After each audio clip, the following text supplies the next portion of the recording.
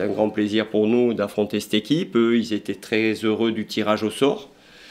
Parce que quitte à arriver à ce niveau-là et se faire éliminer, autant fréquenter l'élite. Donc c'est ce qui leur arrive. Et puis après, on sait toujours que il y a toujours la magie de la Coupe de France qui peut opérer. En tout cas, nous, on va tout mettre en œuvre pour que, que, que dans les journaux lundi, on ne parle pas de notre match. Ça voudra dire qu'on aura fait, euh, qu'on aura fait le, job avec beaucoup de professionnalisme. De toute façon, euh, on va leur montrer euh, le plus grand respect. Hein. donc, c'est une évidence. nous, nous allons aligner la meilleure équipe possible du moment. Nous allons aborder le match avec beaucoup de concentration et beaucoup de détermination.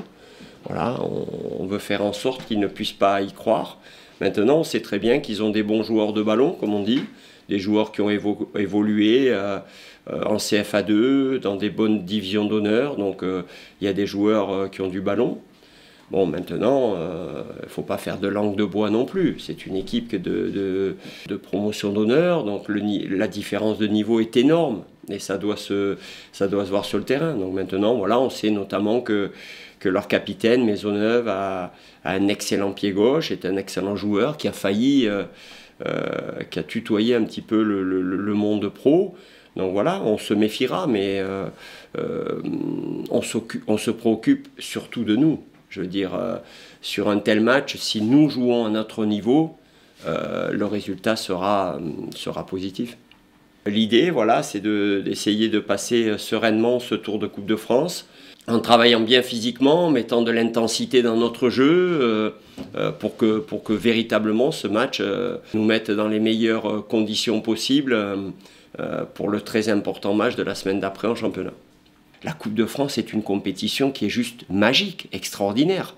On ne peut pas négliger une telle compétition.